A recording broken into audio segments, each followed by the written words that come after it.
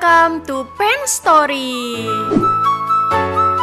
Bencana banjir adalah peristiwa yang sering terjadi saat musim hujan tiba. Di Indonesia sendiri, banjir adalah bencana musiman yang hampir tak pernah absen. Di beberapa titik di banyak kota besar di Indonesia, banjir adalah masalah negara yang memang sulit untuk diatasi. Sistem irigasi yang kurang memadai, drainase yang buruk, bendungan yang dangkal, dan kurangnya kesadaran masyarakat akan kebersihan sungai menjadi penyebab utama dari masalah ini. Kali ini, Pen Story akan menyuguhkan beberapa inovasi dan teknologi mengatasi banjir dari berbagai negara dan semuanya udah Pen Story tulis hari ini.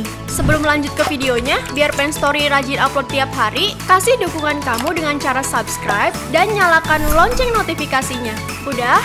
Lanjut!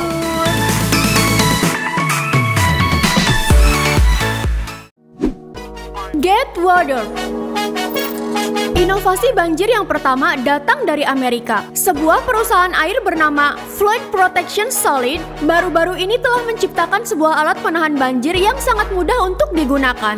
Alat ini bernama WaterGate. Sistem ini sangat efektif dalam kekuatan, stabilitas, fungsi, kemudahan, dan penyimpanan jika dibandingkan dengan produk pertahanan banjir lainnya di pasaran.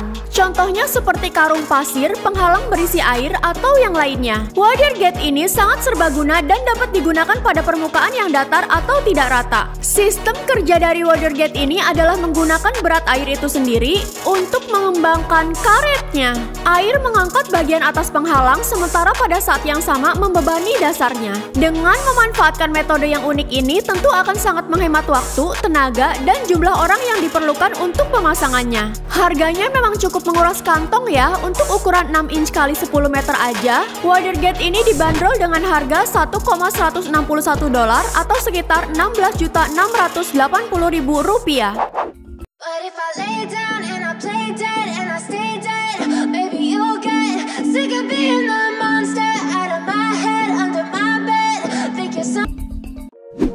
Flood Barriers Dam Easy Flood Barriers adalah merek dari All Weather Industries, sebuah perusahaan Irlandia yang didirikan pada September 2017.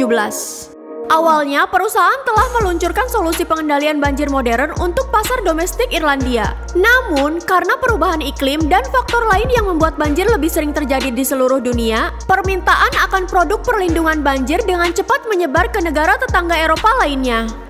Biasanya jika banjir terjadi, air akan masuk dari celah rumah seperti pintu dan jendela. Dengan teknologi ini, kamu cukup memasang dengan benar flood barriers ini pada pintu atau jendela rumah kamu. Cara memasangnya sangat mudah dan gak butuh waktu lama. Kamu gak perlu lagi menahan debit air di depan pintu dengan karung pasir atau penahan air tradisional lainnya. Untuk harganya, satu unit flood barriers ini dibanderol dengan harga 899 dolar atau sekitar 13 juta rupiah. Quick Dam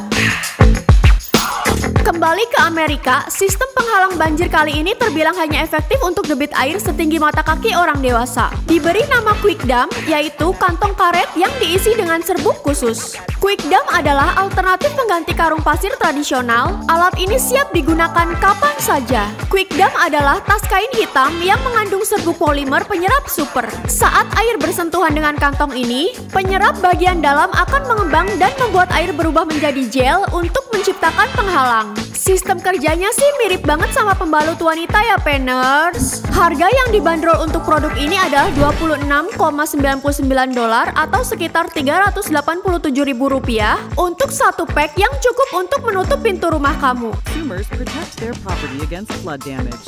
Being proactive and placing them in position before a storm offers maximum protection. Quick dams are compact, lightweight, easy to use, and set up in just minutes with minimal labor. Flood Block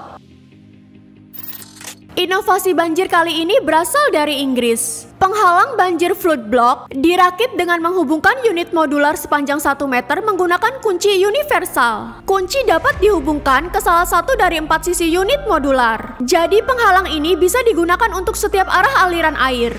Saat digunakan, sebagian besar unit modular benar-benar terisi dengan air yang dikombinasikan dengan kunci universal dan dapat dipastikan bisa menjadi penghalang banjir yang sangat efisien. Semua unit dan kuncinya menggunakan gasket yang mampu menahan debit air ukuran besar. Braket anti maling juga dapat digunakan untuk mencegah penghalang banjir diambil oleh orang lain saat digunakan dan ditinggalkan. Untuk mengetahui harganya, kamu bisa langsung cek di website resminya di fluvialdasinnovation.co.uk.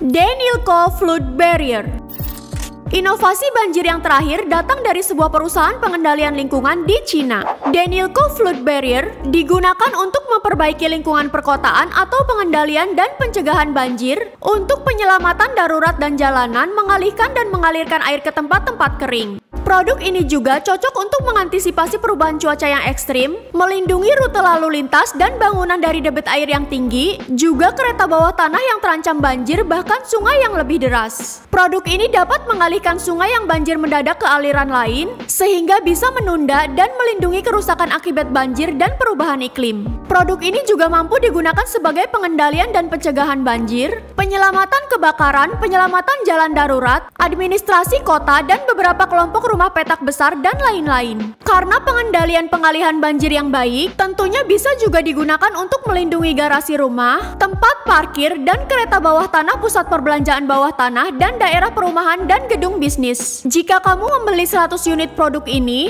kamu akan dapat harga 115 dolar atau sekitar 1.650.000 rupiah untuk satu buah produknya. Hmm, lumayan mahal banget ya.